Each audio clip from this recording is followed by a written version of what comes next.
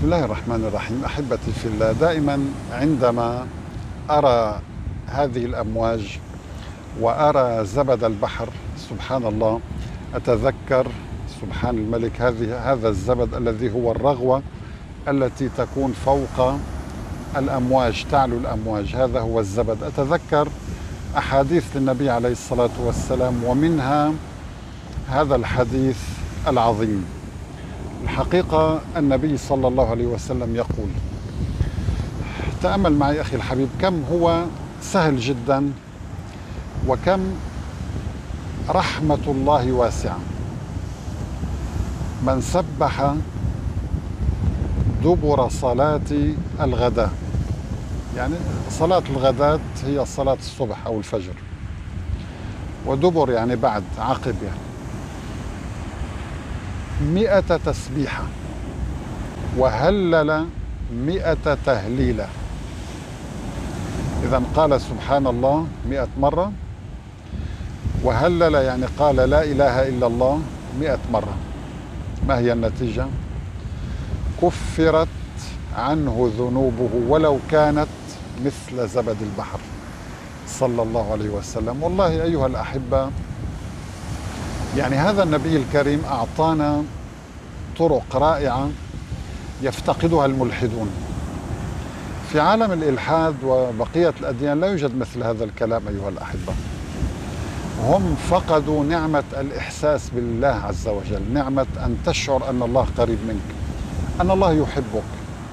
أرسل لك هذا النبي الكريم ليخبرك بطرق سهلة جدا لمغفرة الذنوب مغفرة تامة.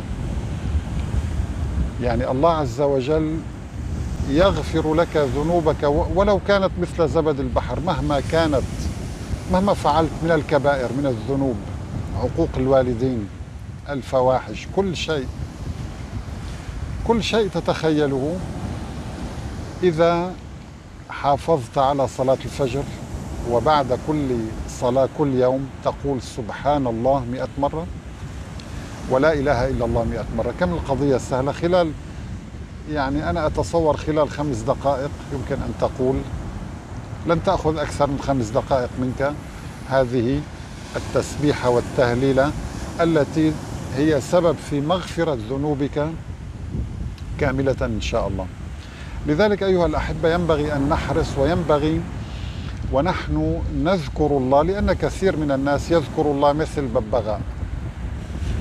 لذلك تجد حياته تعيسة. يقول لك أنا أذكر الله ولكنني مصاب بوسواس قهري وأنا أقرأ القرآن ولكنني مكتئب وأنا أصلي وأحافظ على الصلوات وأسمع القرآن ولكن حياتي تعيسة. لماذا؟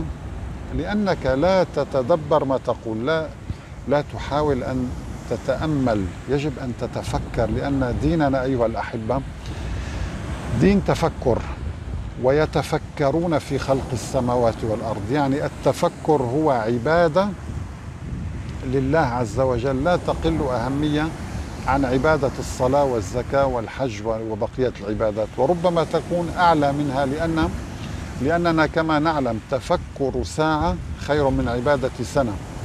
يعني أن تعبد الله على جهل لمدة سنة؟ لا اجلس وتفكر ساعة على علم خيرا لك من ذلك. لأن الشيطان من السهل عليه أن يحتال على أي إنسان جاهل ويوسوس له بينما العالم لا يستطيع. يعني هل رأيتم عالما في القرآن وفي التفسير وفي التدبر يصاب بوسواس قهري؟ مستحيل. لأن الشيطان لا يتمكن إلا من الضعيف الجاهل. إذا أحبتي في الله عندما تقول سبحان الله يجب أن يعني تتخيل أن معنى هذه العبارة أنني أنزه الله. هذا الملك يتعالى يتنزه يتقدس سبحانه وتعالى عن النقص عن يعني أنا مثلا مصاب بوسواس قهري. مثال. يجب أن يكون لدي ثقه كاملة أن الله قادر أن يبعد عني وساوس الشيطان. كلما كانت ثقتك بالله أكبر كلما ابتعدت عن الشيطان أكثر ووساوسه أكثر. أنا أعاني من ضيق في الرزق. كلما استيقنت أن الله قادر أن يرزقني وغير عاجز أن يهيئ لي الرزق من حيث لا, لا أحتسب أنا سيبتعد عني الشيطان وسيصبح الرزق أكبر وأكثر وطبعا هو الرزق مكتوب ولكن توضع البركة فيه. آه، طيب هناك الكثير من الناس يقول سبحان الله ولا يفهم معناها. يجب أن تخرج من قلبك. سبحان الله يعني يا رب أنت عظيم جدا. تعاليت يا رب عن الولد عن النقص. تعاليت عما يقولون علوا كبيرا. لذلك أحبتي في الله يجب أن تتفكروا بمعاني ما تقولون. حتى عندما تقول لا إله إلا الله يجب أن تشعر بأعماقك أنك تعبد الها حيا قيوما. إله واحد فقط لا إله إلا هو.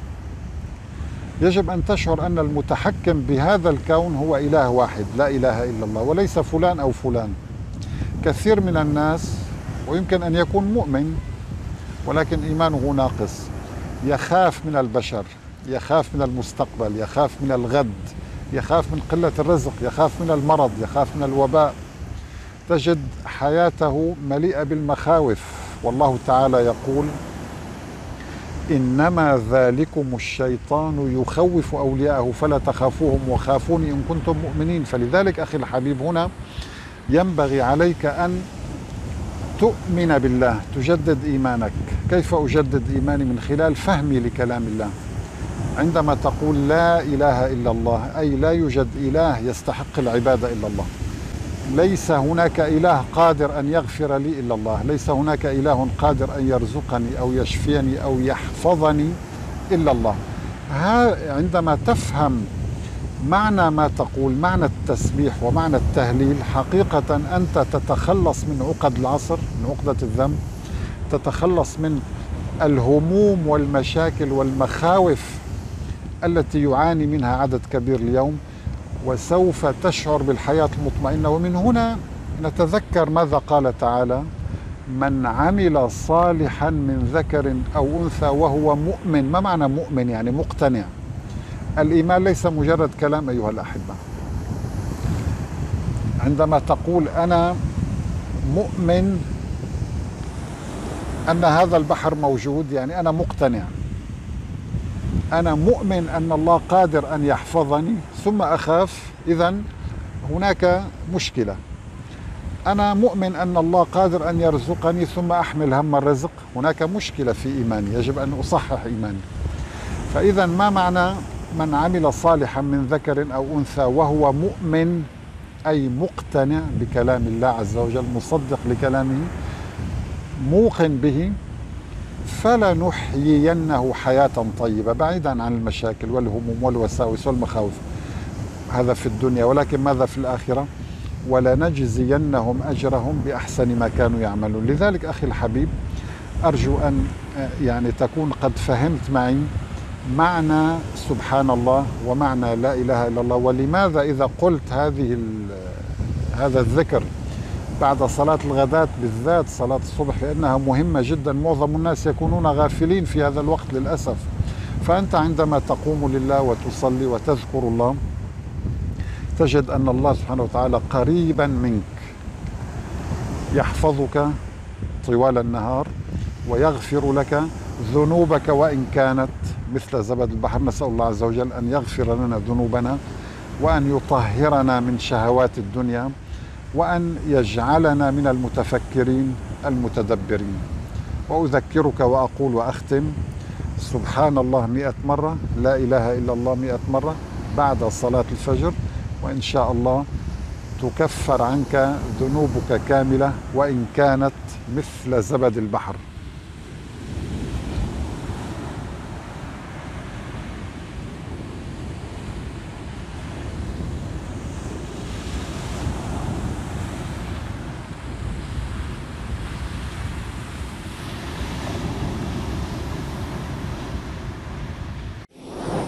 حتى يتبين لهم أنه الحق.